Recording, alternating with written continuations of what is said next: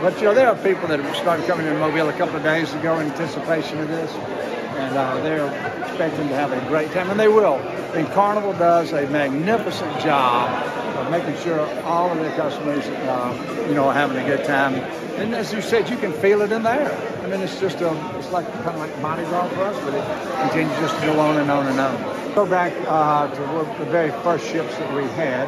You know, they were older this ship is one of the newest ships that we've ever had. It's certainly the biggest ship we've had. And uh, the, the, rooms are rather, we have like 600 more balconies on it, which is huge.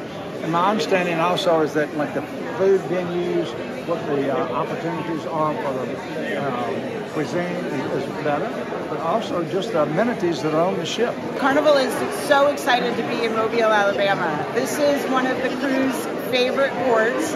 They love to work out of uh, Mobile because the guests are so amazingly awesome. Uh, we are America's cruise line, and we really feel like Mobile is one of the best ports to sail out of, for sure. So we're so excited for today. As you can see, the crew members are ready to go, and they're ready to celebrate with all of us.